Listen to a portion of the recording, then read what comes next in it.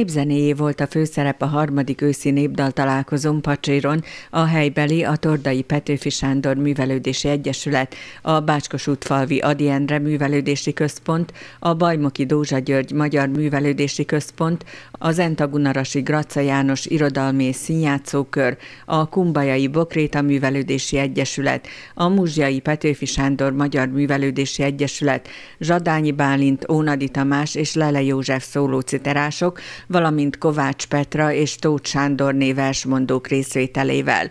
Az esten emlékeztek Vörös István néhai citerásra is, akinek családja ugyancsak jelen volt a rendezvényen.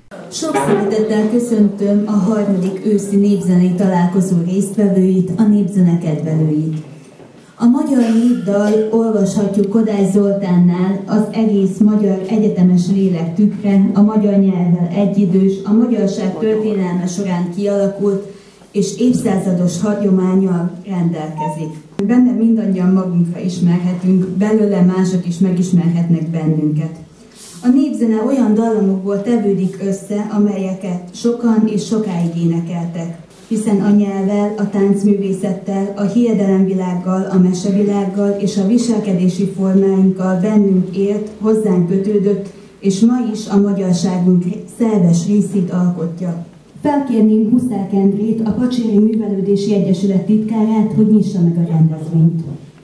Nagy szeretettel köszöntök mindenkit, először is Pista bácsi családját üdvözölném, kedves vendégeket, külföldieket, belföldieket, mindenkit.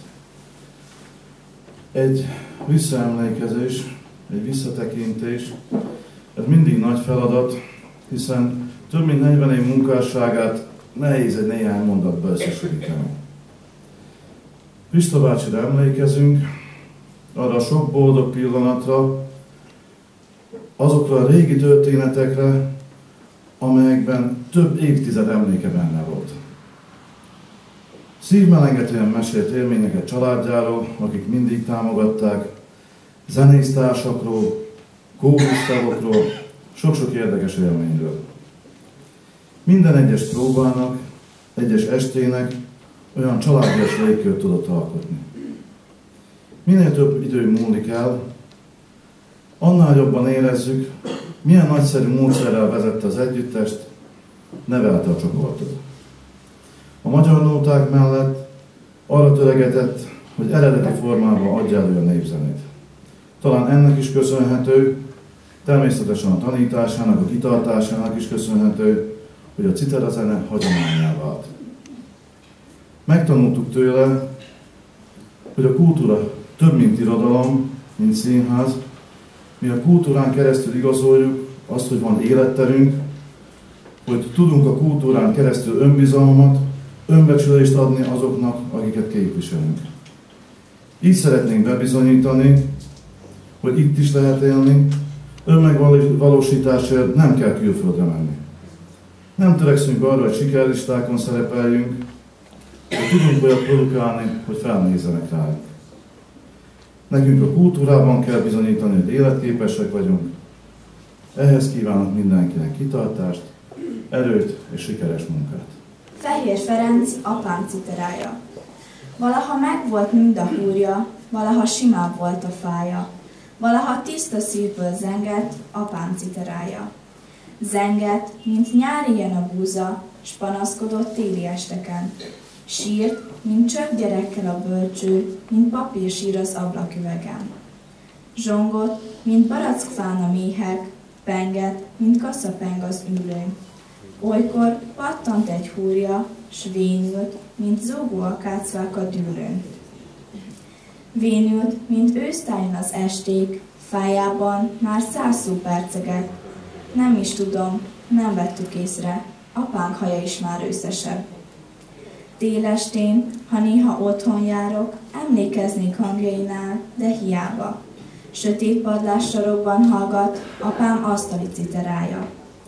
Vele hallgat a ház, a nóta, s a messze néző padlászeme. Olykor, ha szél sír el a tető felett, jó húrjai még fölföl zengenek. S én hallgatom, mint mesét a gyermek, hallgatom, mint őspartot a víz. Nem tudok elszakadni tőle, így némán is vissza-vissza hív.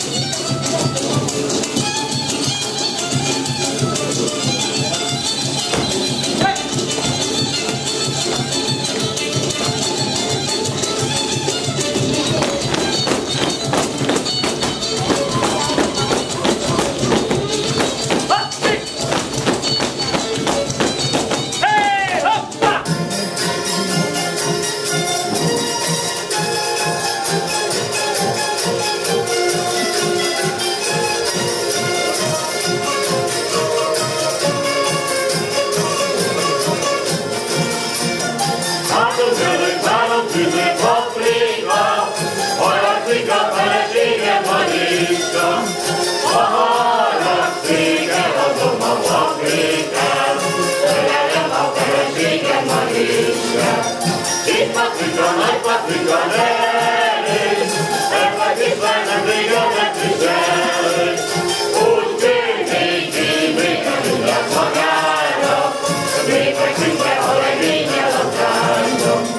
Úgy kőmény, kőmény, a nyugat